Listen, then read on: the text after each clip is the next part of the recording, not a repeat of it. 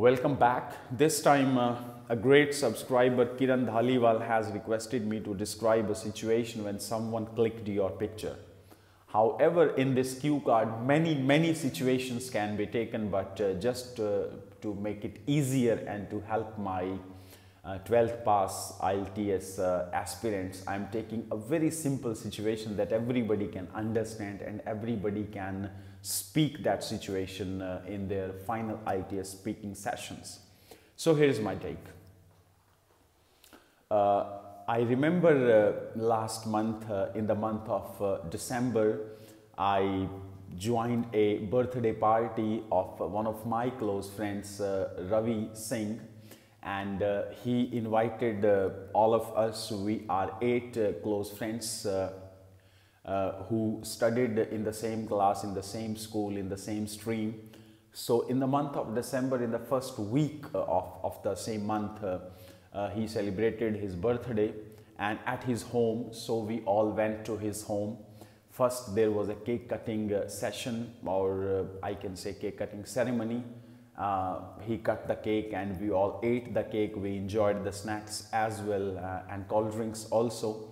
And after having uh, all those uh, eatables, uh, all of us decided to go on uh, on the dance floor and have some dance. So he played the music on his speakers, and we all started dancing. And it just, I think, five six minutes when we just danced for six seven minutes. Uh, I thought, uh, like, why not we should uh, capture uh, some uh, some pictures and have some clicks and even have some videos so that for later memories we can have some evidences or some strong memories. So I just requested to the elders, his parents were there, and I just said this to his father like, Uncle, could you please help me in getting some pictures? And he said, Why not?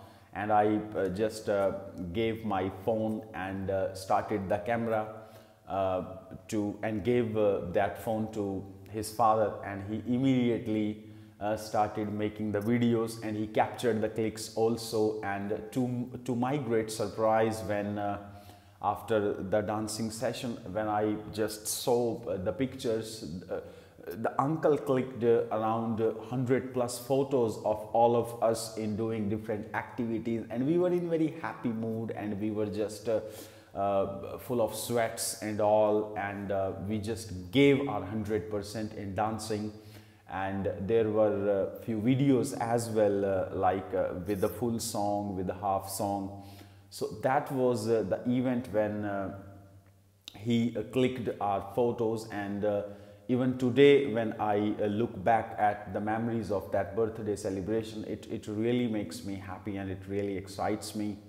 And uh, so this was the event when uh, somebody else other than me. Otherwise i am uh, a big uh, fan of getting uh, of taking selfies. But that was the moment when i gave my camera to somebody else and he just unstoppably clicked the pictures and made the videos uh, so this was the experience when i i realized uh, like i am getting clicked by somebody else and it was a happy experience